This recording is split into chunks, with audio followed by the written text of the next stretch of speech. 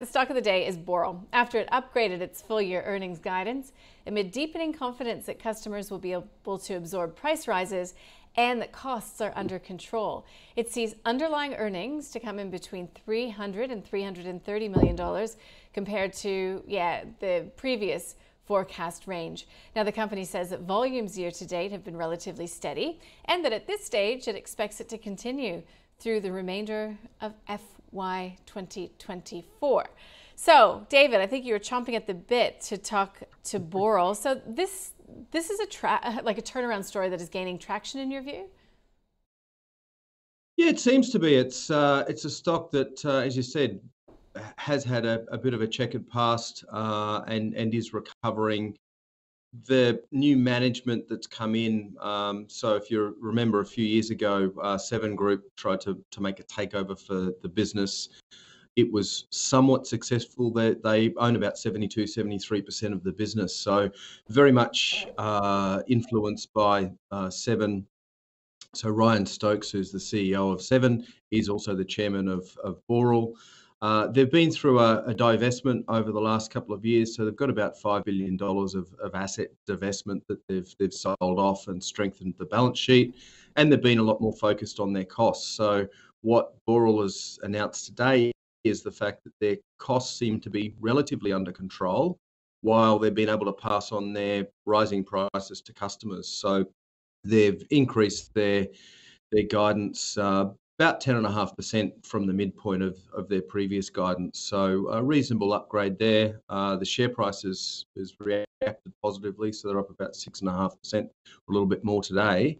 Um, so a good announcement and similar, I suppose, to what we saw from James Hardie a few weeks ago in that uh, the building materials is a sector that probably continues to surprise that we're anticipating that there should be lower demand, um, but yeah, we've actually been positively surprised.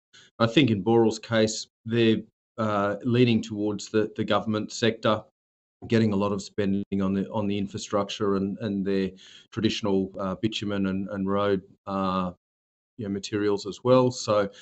Positive announcement for the company. Um, as far as valuations concerned, we think that they're relatively expensive, so we've got a hold recommendation on them um, at at five dollars, they're they're probably a you know a bit above where we think they should be. Um, our analysts' fair value is four twenty five, but hazard a guess that perhaps they'd be looking at the announcement today and, and may make an adjustment to that. But at this point in time, I've got a hold recommendation on it. Yeah, okay, Daniel, that's the thing, isn't it? You know, has its share price run ahead of fundamentals, even in light of today's upgrade? Yeah, look, I think similar comments in terms of the valuation, and, and David covered kind of the story of Boral in the last few years really well.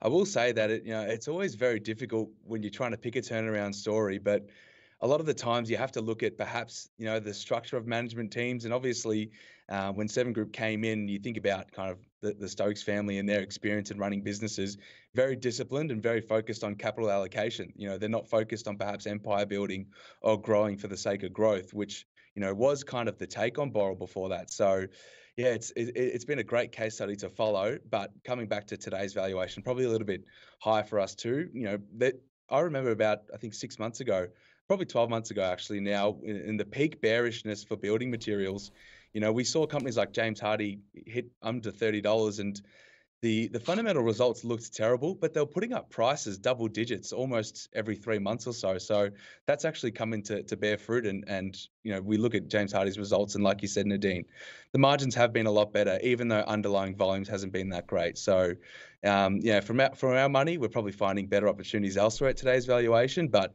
uh, I still think it's warranted to, to have on the watch list because that margin story and the fact that they've been able to push prices higher, it probably does lead to a better business overall going forward for Boral. Okay, so if you owned it, would you hold it?